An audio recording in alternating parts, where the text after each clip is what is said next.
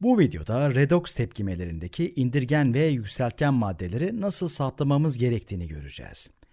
Burada sodyum metalinden ve klor gazından sodyum klorür oluşturduğumuzu düşünelim.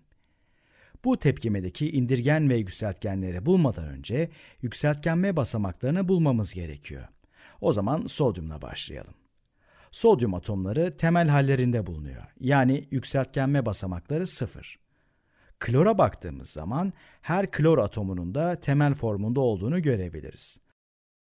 Dolayısıyla onların da yükseltgenme basamakları sıfır. Sağa doğru ilerleyince sırada sodyum katyonu olduğunu görüyoruz. Yükü de artı bir. Tek atomlu iyonlar için yükseltgenme basamağı iyon yüküne eşittir. Bu iyonun yükü artı bir olduğuna göre yükseltgenme basamağı da artı bir olmalı. Demek ki artı bir. Yükseltgenme basamaklarını daire içine alıyorum.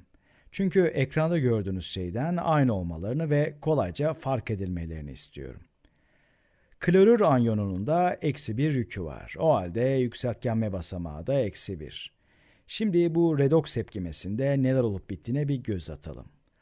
Sodyumun yükseltgenme basamağı sıfırdan artı 1'e çıkmış. Sıfırdan artı 1'e geçmek yükseltgenme basamağında artmaya işaret ediyor. Demek ki sodyum yükseltgenmiş. Bu tepkimede yükseltgenen madde sodyum.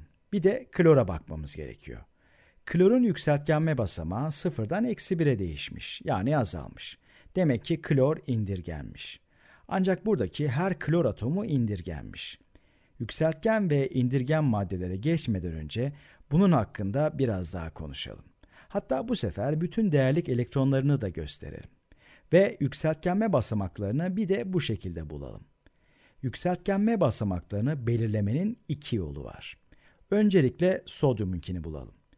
Eğer elektronlarınız bu şekilde nokta olarak gösteriliyorsa, bu atomun bağ yapmamış halde sahip olduğu elektron sayısından bu çizimde sahip olduğu elektron sayısını çıkararak yükseltgenme basamağını bulabilirsiniz.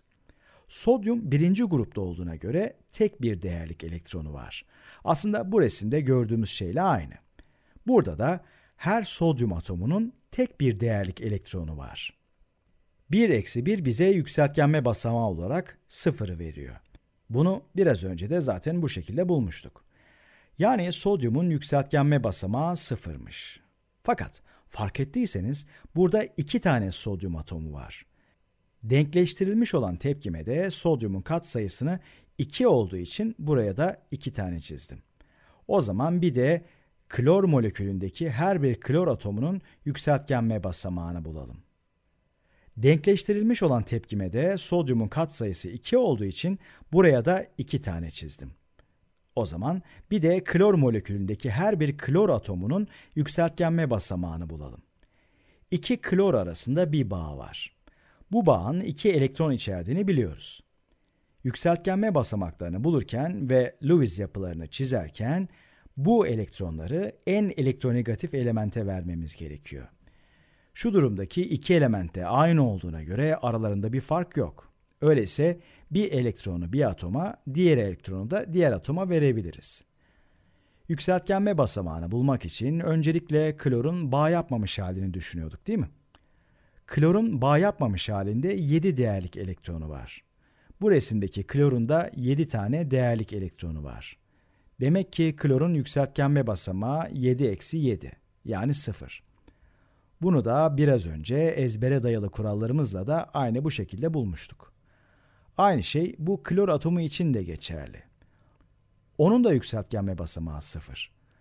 Bu şekilde bakmak elektronları görmeyi kolaylaştırdığı için bazen tercih edilebilir. Şimdi bir de ürünlerin tarafına bakalım. İki tane sodyum klorür vardı. Aynı buraya çizdiğim gibi. iki sodyum klorür. O zaman bir de elektronlara neler olduğuna bakalım. Bu gördüğünüz sodyumun üzerindeki pembe renkli elektron klorlardan birinin üzerine geçmiş. Aynı şekilde diğer sodyumun üzerindeki bu elektron da diğer klorun üzerine geçmiş. Sodyum değerlik elektronunu kaybetmiş diyebiliriz. Hatta her sodyum değerlik elektronunu kaybetmiş. Böylece de bir katyon oluşturmuş dersek daha doğru olur. Yükseltgenme basamağını bulmak için yine aynı şeyi yapacağız. Sodyumun normalde bir değerlik elektronu vardı ama onu kaybetti. Demek ki yükseltgenme basamağı 1 eksi 0. Yani artı 1 oldu. Aynı biraz önce bulduğumuz gibi. Son olarak da klora da bakalım. Klorun normalde 7 değerlik elektronu var. Ama gördüğünüz gibi şu anda fazladan bir pembe renkte elektronu var. Demek ki şimdi elektron sayısı 8. O zaman yükseltgenme basamağı da 7 eksi 8'e yani eksi 1'e eşit. Tek atomlu iyonların yükünün neden yükseltgenme basamağına eşit olduğu şimdi biraz daha mantıklı gelmeye başlamış olabilir. Artık pembe renkte elektronlara da neler olduğunu anladığımıza göre yarı tepkimeyi yazıp indirgen ve yükseltgen maddelerden bahsedebiliriz. O zaman tepkimeyi farklı bir şekilde ikiye bölelim. Burada iki tane sodyum atomu görüyoruz. O zaman öncelikle iki sodyum yazmamız gerekiyor.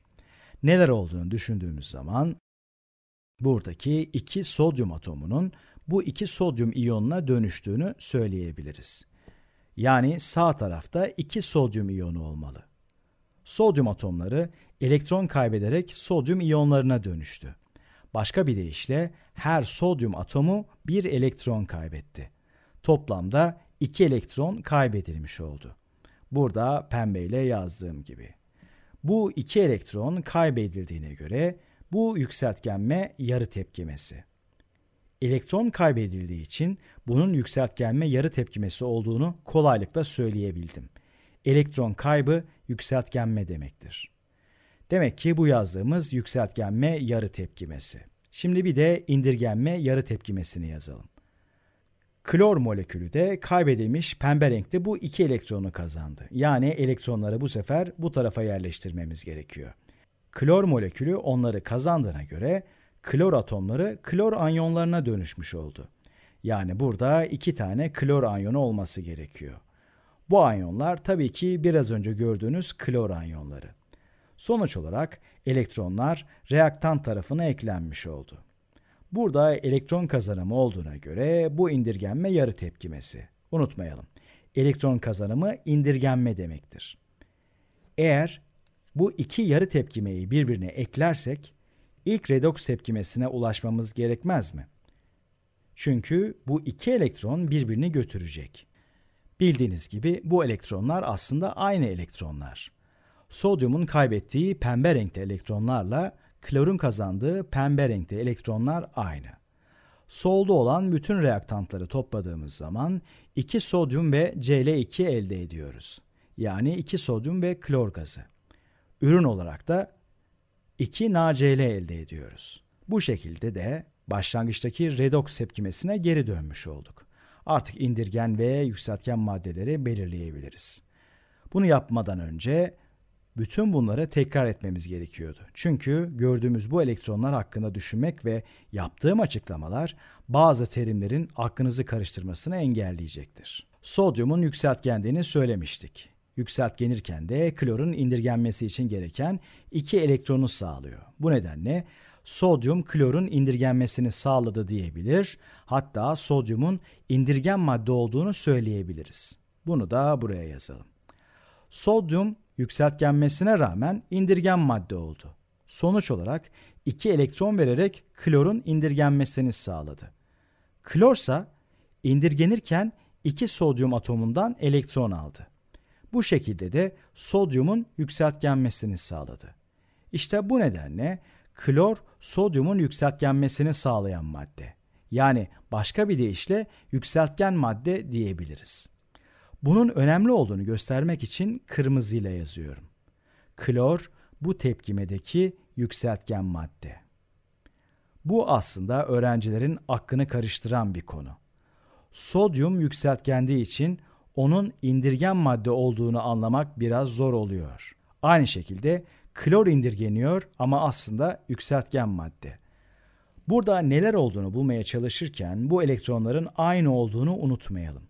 Yani sodyumun kaybettiği elektronlarla klorun kazandığı elektronların aynı olduğunu aklımızın bir kenarına yazalım.